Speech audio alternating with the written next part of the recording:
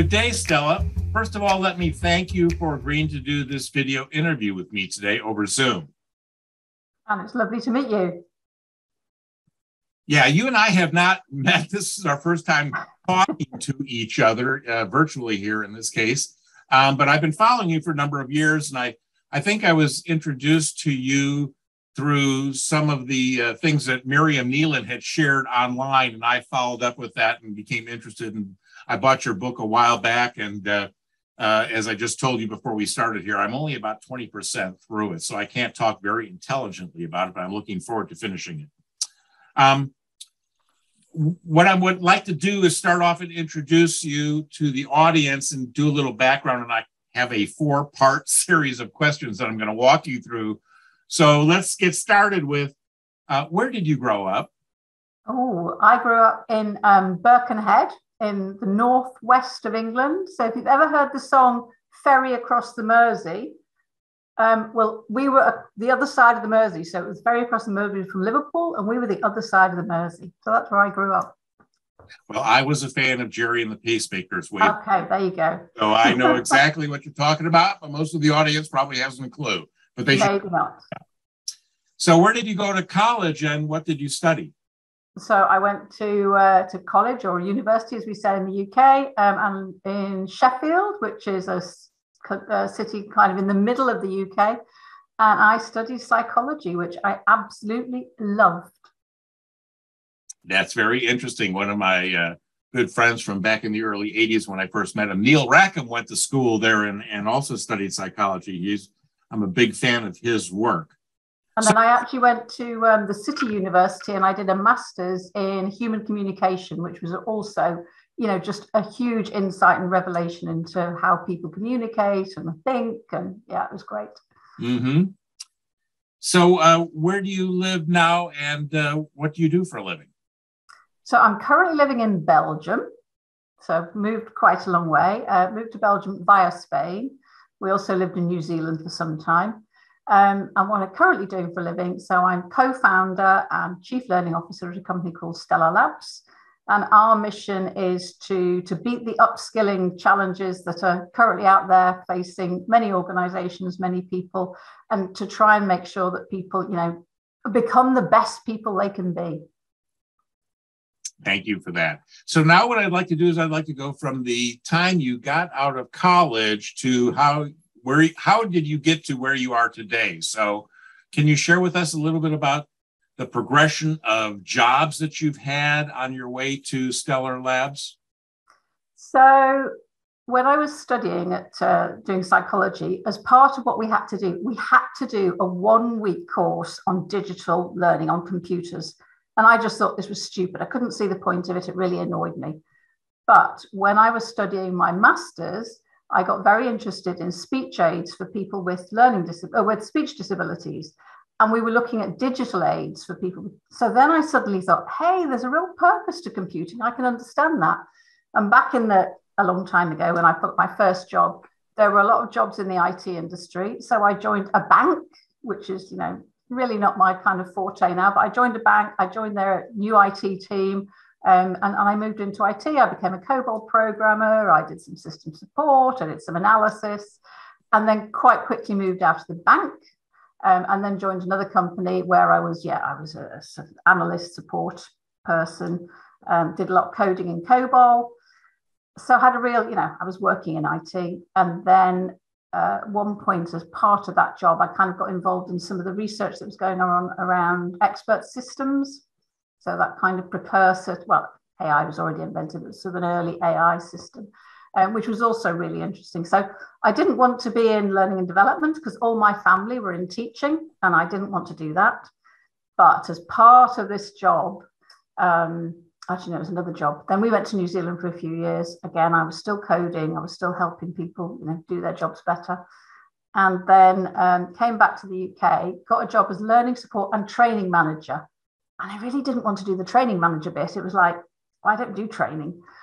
A lot of IT training is really boring. I didn't want to do that. Anyway, took on um, a colleague who was really inspirational, really helped me see that actually what training, good training does is really help people do their jobs better. So it's that whole kind of, you know, how can you help people be better in their careers?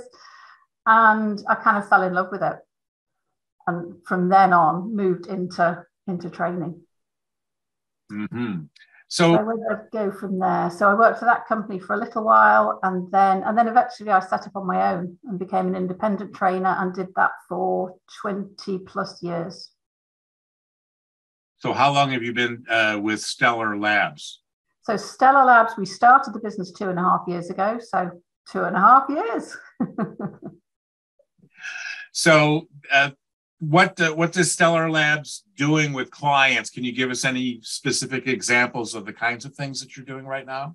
So, so what we're absolutely doing right now is we are building a an upskilling accelerator platform. So we're really focused on uh, helping people put skills into the workplace so they can actually transfer their skills into the workplace. And we're effectively building a platform that kind of clones all the things we've that I've been doing in my previous company, really making sure that people, you know, enjoy the learning experience, but that they can then apply their skills. So not just knowledge, but apply their skills in the workplace. And that's what we're doing. We're building a platform that does that more automatically than we can do it currently. Mm-hmm.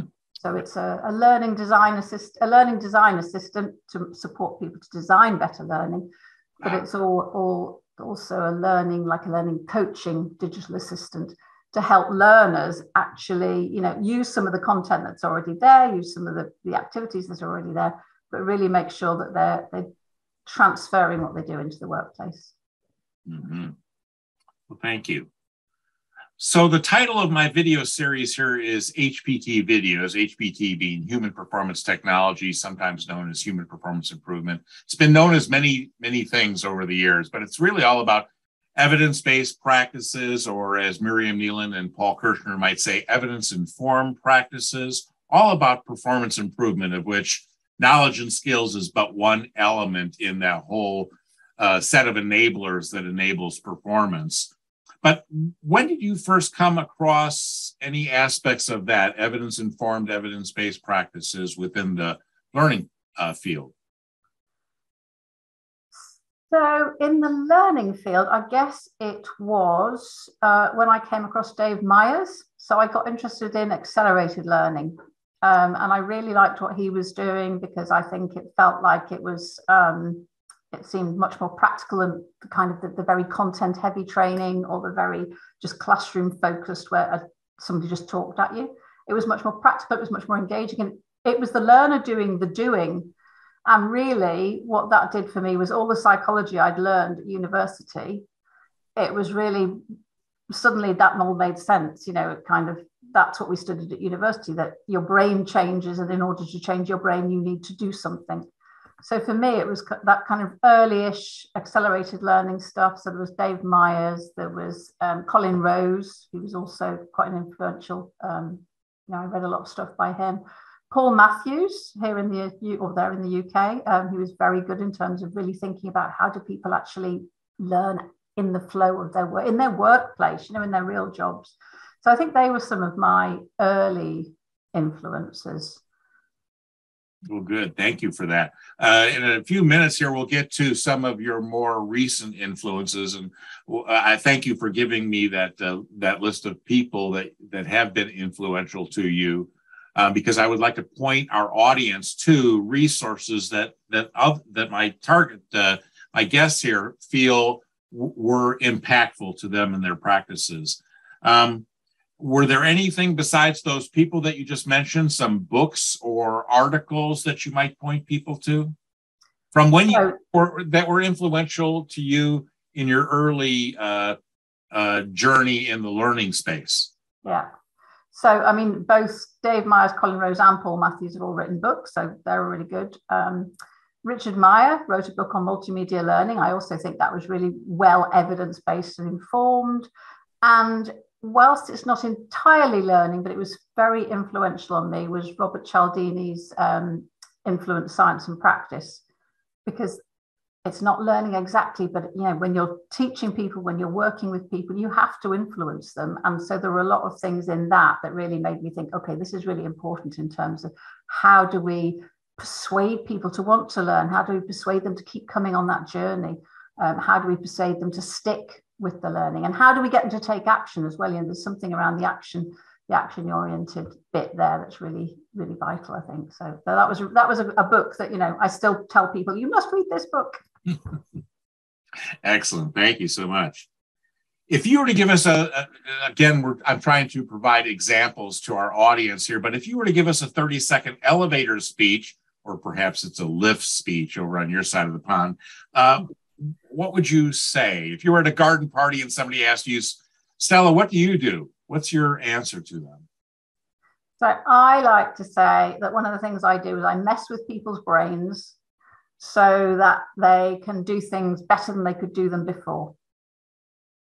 Excellent. That's of course, if the person is interested, they'll probe further to find That's out. Yeah, I always think give them something that sort of you know makes them makes them curious. You know, how can I get people curious? Because I think curiosity is such an enabler of learning. If we're curious, we tend to do things for ourselves. And okay, I think we really need some guidance and support, particularly if we're new.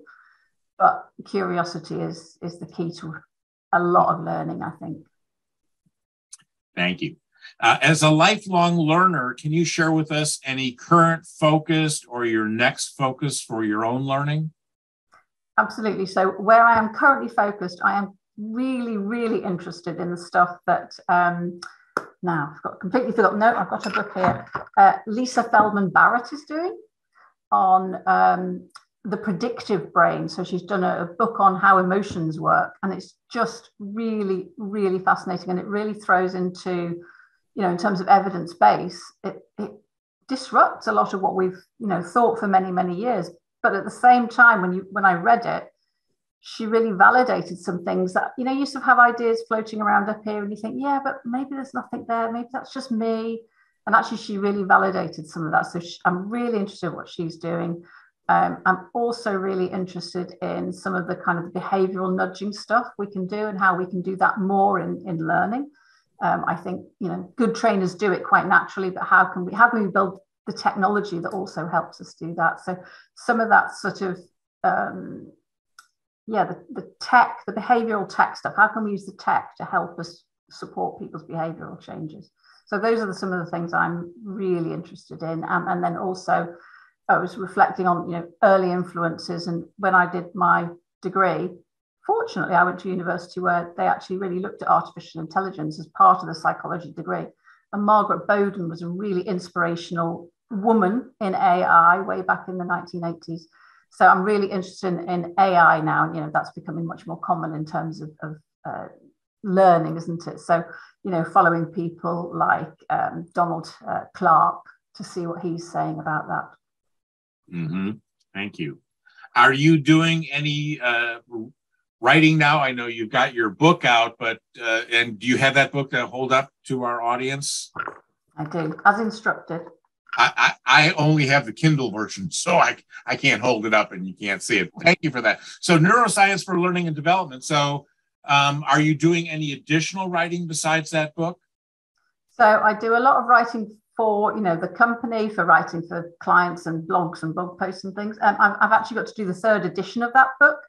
Ah. So, actually, one of my tasks this summer is to really review some of the work that I've picked up in the last, I think, three years since I wrote the last edition and update it. So, because that's one of the challenges of you know writing an evidence-based book. If you read something new you have to do some more. So you know i've got miriam's book here. Um, you know i've got a lot of a lot of other books that are going to influence not change the book entirely because it's just an addition but but i also really want to book, write a book on and i've written some ebooks and things on how we can help learners learn. So, how do you learn as a learner? What are some of those top tips you can pick up as a learner? So, mm-hmm. that would be another thing I really want to, to work on. Oh, excellent. Um, so, I wanted to shift gears here to our terminology, the language that we use in the field. And this has been an age old issue. Um, so, I, my question is Is there a performance improvement or a learning term or phrase that you would like to define for us because perhaps you feel it's being misused or misconstrued and you'd like to put your own spin on it?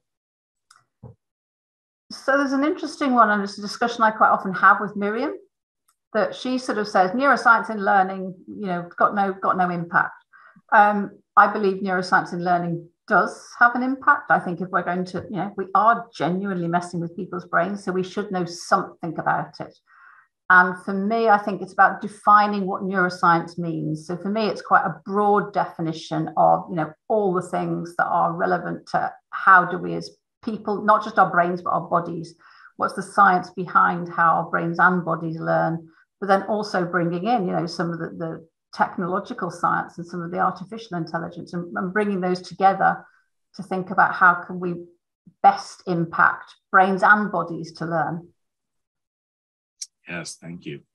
Um, so it, the next question is um, about more of the your current influences. You've mentioned a couple people, Miriam's book uh, with Paul Kirschner. You mentioned Donald Clark. Uh, who else would you point our audience to uh, the, some of the people who have maybe had a more recent impact on you that you've not already mentioned? So I think Cathy Moore is really important. I really love the way she she's always talking about getting people doing the doing. So it's not about what they know, it's about what they can do. So I think she's really important. Um, it's really funny. I, I, was reflecting on, you know, who I who were my influences early on and who are they now? And actually, they really shifted to being a lot more women now. So Ina Weinbauer Heidel uh, over in Germany, she's really really good on learning transfer and the 12 levers of learning transfer. I think she's fantastic. Um, Julie Dirksen, again, very evidence based um, Amy Brann, who isn't specifically around learning, but she is around kind of performance at work. Um, so she's really interesting in terms of what she talks about in terms of you know the brain and, and what we do there. So um, and then yeah, Miriam again. So I think those are my key influences. And um, Nir Eyal, I think that's his name. So he's been uh, he wrote that book uh, Hooked. You know, how do we get hooked to tech um, in a good way? In a good way. Mm-hmm. So yeah, I think they're my they're my those are my key reads at the moment. Those are the ones I keep picking up and reading again and again. Well, thank you for sharing that with us. And, and thank you for participating with me in this video interview. My final question to you is Do you have any pars- uh, parting words of wisdom or guidance for people new to the field um, uh, especially to all things, anything related to performance improvement. What would your guidance be for those people? I think keep challenging and asking. Ask people, you know, if they're if they're telling you something, ask them, well, what's the evidence behind this? Not that you need to become a scientist yourself if you're not a scientist, but just checking in, not just taking things for, you know, face value or for granted, asking a bit you know a few more questions digging deeper. What's the you know what's the impact of this theory or this idea? And you know is there real evidence behind it? Is there some science behind it? Or is it just you know like i'm going to mention it because I, I, feel the need to but you know mbti there's, there's no evidence for that. So we really shouldn't be using it. Just because something's old doesn't make it wrong and just because something's new doesn't make it right but what's the evidence behind? And just keep asking that question because the evidence changes as we learn more stuff the evidence changes. So yeah don't accept things on face value. Challenge and question. Be curious. Very good advice. Uh, thank you so much. And uh, again thanks for doing this interview with me and I, I wish you a good day. Thank you very much. It was lovely to meet you. Nice to meet you